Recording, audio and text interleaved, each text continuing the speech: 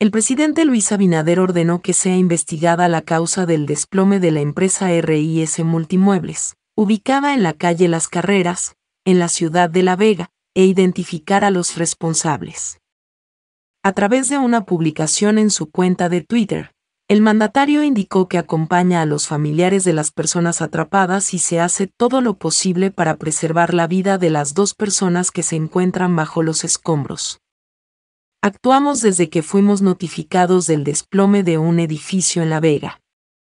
Acompañamos a las familias de las personas accidentadas y hacemos lo posible por preservar las vidas de quienes quedaron bajo los escombros. Pedimos investigación para identificar responsabilidades, escribió. Paliza en el lugar.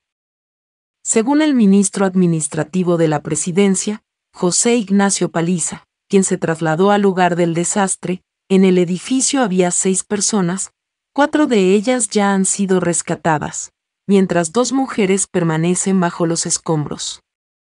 Hasta el momento la información que maneja el gobierno es que las mujeres que no han sido rescatadas se encuentran con vida. Ya hemos podido rescatar, los cuerpos especializados, a cuatro ciudadanos con vida y en proceso de recuperación y persisten hasta el momento dos señoras más en el siniestro, pero también nos han dado prueba de vida y, por lo tanto, se está trabajando de manera acelerada para poderlas también rescatar, dijo Paliza al tiempo de indicar que se encontraba en el lugar por instrucciones del presidente Abinader.